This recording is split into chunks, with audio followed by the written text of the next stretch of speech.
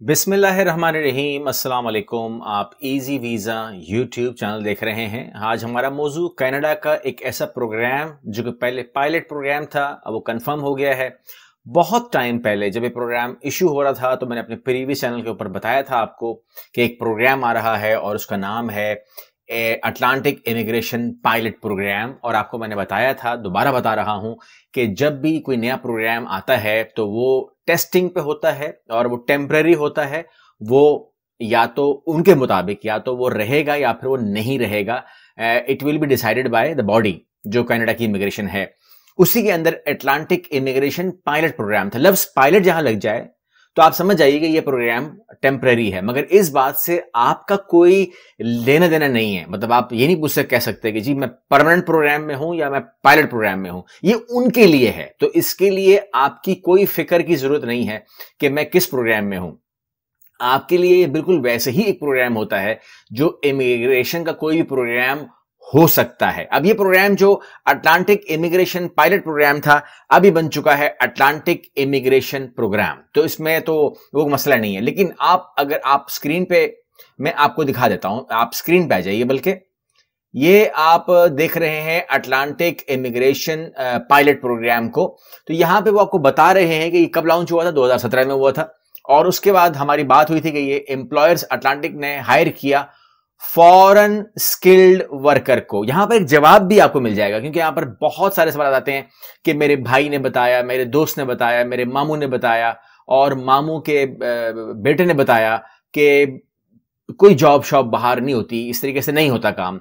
तो ये जो बात कर, मैं तो नहीं कह रहा अब आपको सिस्टम बता रहा है Canada dot C A Canada dot C A कह रहा है, अगर आप स्क्रीन खोलेंगे तो you will find out by yourself ऊपर वो स्क्रीन चल भी रही है नाम जो है कि एम्प्लॉयर्स यानी कि वहाँ पर कंपनी होल्डर्स जिनके पास काम है, जिनके पास कंपनीज़ हैं फैक्ट्रीज हैं मिल्स हैं, उन्होंने अटलांटिक इमिग्रेशन में हायर किए फॉरेन स्किल्ड वर्कर उन्होंने हायर किसको किया? फॉरेन यानी कि गैर मुल्की स्किल्ड वर्कर को. जिन लोगों के अंदर स्किल्ड था और वो गैर मुल्की थे कैनेडियन नहीं थे तो उनको उन्होंने हायर किया. इसके अंदर कोई पाबंदी नहीं है कि ताल्लुक उसका किस मुल्क से होगा. कनाडा ने अपने आप को नंबर वन बाउंड नहीं किया कि हम किस मुल्क से हायर करेंगे और किस मुल्क से हायर नहीं करेंगे। Number one. नंबर टू, वो कभी भी एक मुल्क से हायर नहीं करते। वो यानी आप, यानी कि वो रेस्ट लगा दें। यानी कि आप बोले कि जी सारे के सारे इंडिया से लें या सारे के सारे बांग्लादेश से लें, ये वो कभी नहीं चाहते। क्यों नहीं चाहते? या सारे के सारे पाकिस्तान से लें, वो नहीं चाहते। वो मिक्स लेते हैं, क्योंकि अगर फॉर एग्ज़ाम्पल जैसे मलेशिया में हुआ या बहुत सारी जगहों पर ऐसा होता है कि अगर आप एक कम्युनिटी को ही भर देंगे तो वहाँ पर अगर वो कम तादाद में होते हैं तो little Pakistan little India little Bangladesh बन जाता है, और अगर वो बड़ी तादाद में होते हैं तो वो सूबा बन जाता है वहाँ पर, ठीक है ना? इसलिए वो इस इस हद तक तो नहीं जाएँगे। तो यहाँ पर वो क्या काम करते हैं? मिक्स काम करते हैं। यानी कि वो लोग हायरिंग भी ऐसे ही करते हैं कि भाई, ठीक है दस यहाँ से लो, दस यहाँ से लो, दस यहाँ से लो। मिक्स रहो, ताकि आपस में उनका इतना ज़्यादा दिमाग ना मिल जाए कि वो एक नई चीज़ बना ले, बना लें। तो यहाँ पर उन्होंने कहा कि तो कहने का मतलब यह है कि आप एतमाद रखें, अपने ऊपर, अपने इस सिस्टम के ऊपर और इस बात के ऊपर कि अगर मेरे अंदर काबिलियत होगी, देखिए शर्त पहले यही है कि अगर आपके अंदर काबिलियत होगी तो आप हायर हो जाओगे। अगर आपके अंदर काबिलियत नहीं है तो आप हायर नहीं होगे। सिर्फ़ ये है सच। जो हम सुनना नहीं चाहते। हम कहते हैं कि जी, मुझे हायर करवा दीजिए, चाहे मैं कैसा भी इंसान क्यों ना हूँ। तो वो, उन्होंने कहा कि जी, हम हायर करेंगे फॉरेन स्किल वर्कर को, मगर करते रहे हैं, करेंगे आइंदे भी, और यहाँ पर आपको मैं एक चीज़ शेयर डेटा शेयर कर देता हूँ, क्योंकि उन्होंने डेटा भी शेयर किया हुआ है। तो आइए डेटा पे चले जाते हैं। वो कहते हैं कि हमने अटलांटिक रीजन के लिए दस हज़ार new permanent resident to Atlantic Canada हमने मूव करवाए। उसके अलावा वो कहते हैं, हमने इस प्रोग्राम के तहत ही हमारे एम्प्लॉयर्स ने लोगों को 9,800 जॉब्स ऑफ़र की ठीक है ना? नौ हज़ार आठ सौ लोगों को जॉब ऑफ़र की और बहुत सारे लोगों को नहीं की। तो जिनको की वो उनकी अपनी काबिलियत थी अप्लाई नौ हज़ार आठ सौ तो नहीं किया होगा। अप्लाई ज़्यादा लोगों ने किया होगा लेकिन मिसाल है नब्बे हज़ार लोगों ने किया होगा। लेकिन उन लोगों ने जिसको हायर किया इसमें मर्ज़ी किसकी थी?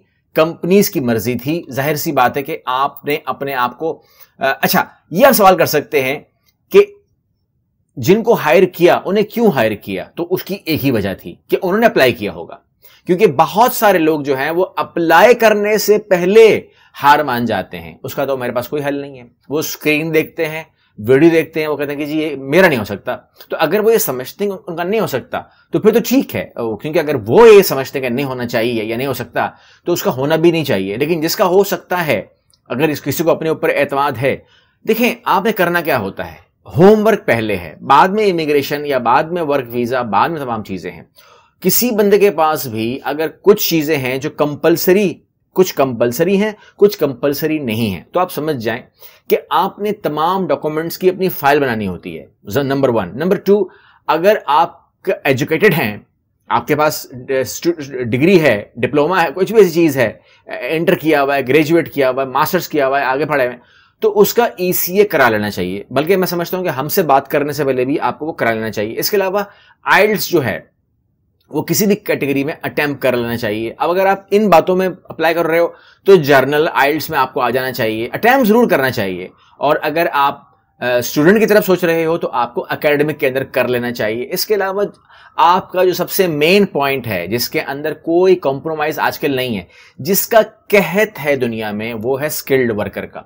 दुनिया में इस टाइम जो है जिस तरह आप लोग कह रहे होते हो कि हमें जॉब करवा दीजिए ठीक है? इस तरीके से कंपनीज़ हमारे सामने रो रही होती हैं कि हमें स्किल्ड लोग मिल जाएँगे और अक्सर औकात जो ओवरसीज डिपार्टमेंट जो कंपनीज़ काम कर रही हैं, वो उनकी डिमांड पूरी नहीं कर पाते।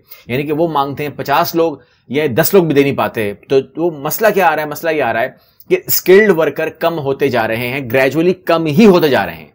लोग स्किल से अपने चीज़ों को छुड़ा रहे हैं यानी कि नहीं कर रहे। मतलब आप खुद मुझे कमेंट कर सकते हैं कि आप कितने ऐसे लोगों को जानते हैं और जो स्किल्ड हैं, वो अपने अपने मुल्कों में कहते हैं कि ठीक है, हम इतने हम ठीक हैं मतलब they are not willing to move तो उसका हम क्या करें?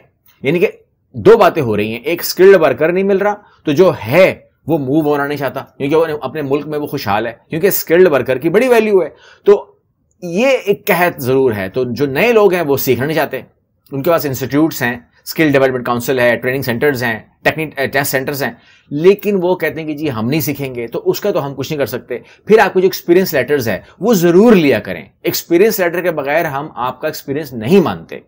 वो कहते हैं कम अज़ कम एक साल का एक्सपीरियंस होना चाहिए। मिसाल है ठीक है ना? आप कहते हैं कि जी मैंने दस साल काम किया हुआ है, मगर सबूत मेरे पास कोई नहीं है। ठीक है ना?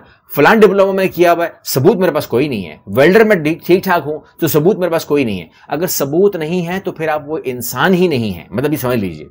मतलब आप वेल्डर ही नहीं हैं, अगर आपके पास वेल्डिंग का सर्टिफिकेट नहीं है, या आपने टेस्ट पास नहीं किया हुआ तो वो तमाम चीज़ें इन ऑर्डर करके ही आप जो है, इन जगहों पर अगर अप्लाई करेंगे, खुद अप्लाई करेंगे तो वी विल अप्रिशिएट यू कि आप खुद अप्लाई करें। हमारे पास आएँगे तो हमारे पास और कोई सिस्टम नहीं है कि हम आपको बताएँ, समझाएँ, वो करें।